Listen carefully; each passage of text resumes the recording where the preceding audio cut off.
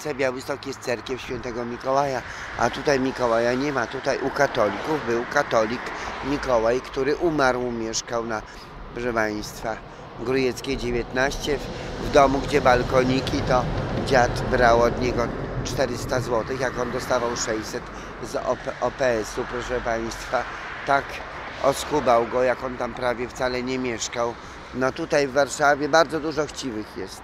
Chciwych, pazernych osób, ludzi, powiedzmy, że ludzi przesądnych, bardzo przesądnych.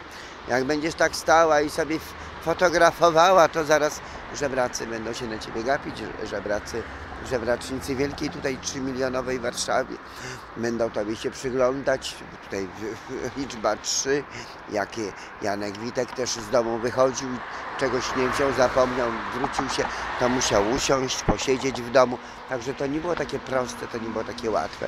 Przesąd i ciemnota przeszkadza ludziom żyć. Zabobon, ciemnota, przesąd no, nie pozwala ludziom poznać prawdy, bo na przykład świadkowie Jehowy, no świadkowie Jehowy, no ale to przecież świadkowie Jehowy rekrutują się, jak nie z Żydów, to rekrutują się też i z katolików. I przecież katolikom niełatwo jest poznać prawdę z Pisma Świętego, bo jak oni w duchy wierzą, w różnego rodzaju e, gusła, w czary, no. W księgach mojżeszowych czytamy, aby u ciebie w domu nie znalazł się taki, który przeprowadza swojego syna czy córkę przez ogień, ani wróżbita, ani czarodziej, ani wzywający zmarłych, gdyż obrzydliwością dla Jahwe jest to taki człowiek, który to czyni. Także zapraszamy. Może Państwa do Angloameryki Białystok i w Angloameryce Białystok Państwo zobaczycie ludzi prawosławnych, zobaczycie Państwo cerkiew świętego Mikołaja, bo tutaj nie ma cerkwi świętego Mikołaja. Tutaj w ogóle raczej cerkwi nie ma.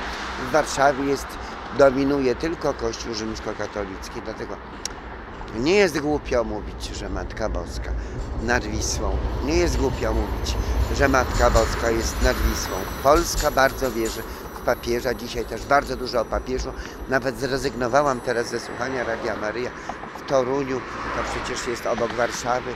To nawet ci, którzy zaraz pojadę do Biblioteki Uniwersytetu Warszawskiego, ci, którzy studiują na Uniwersytecie Warszawskim, to są praktycznie prawie tutaj z Mazowsza, bo podjadą, podjadą i tramwajem i są na dobre 56 Biblioteka Uniwersytetu Warszawskiego. Dzisiaj jest kolejny dzień, bo to jest poniedziałek sesji, proszę Państwa, czyli do 5 rano.